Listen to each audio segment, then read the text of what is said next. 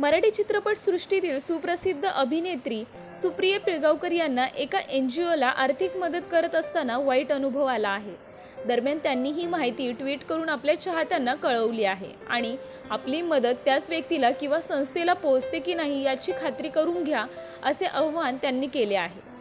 मी याबाबत फसली असून यातून मी आता चांगला धडा घेतला आहे.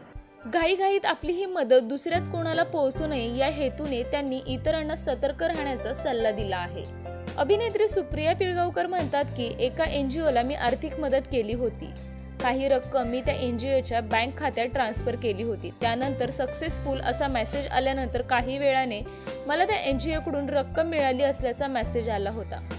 माझ्या बँकेच्या खात्यातून ती रक्कम डेबिट झाली असल्याचा मला मेसेज आला. परंतु याबाबत चौकशी करावी म्हणून मी त्या एन जी ओला फोन करून संपर्क केला.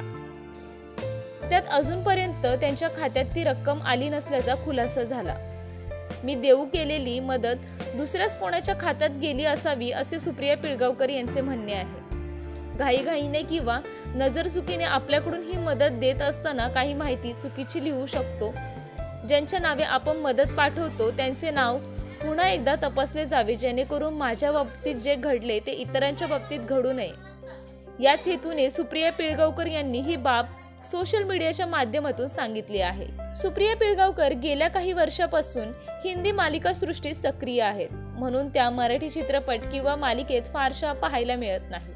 अभिनेत्री निवेदिता सराफ यांनी जसे मराठी मालिकेत पदार्पण केले त्याचप्रमाणे सुप्रिया पिळगावकर मराठी मालिका सृष्टीत याव्यात अशी त्यांच्या चाहत्यांची इच्छा आहे. तर यावर तुमची काय प्रतिक्रिया आहे? सुप्रिया पिळगावकर या अभिनेत्री तुम्हाला आवडतात का? त्यांचा अभिनय तुम्हाला कसा वाटतो? हे आम्हाला कमेंट्समध्ये नक्की सांगा.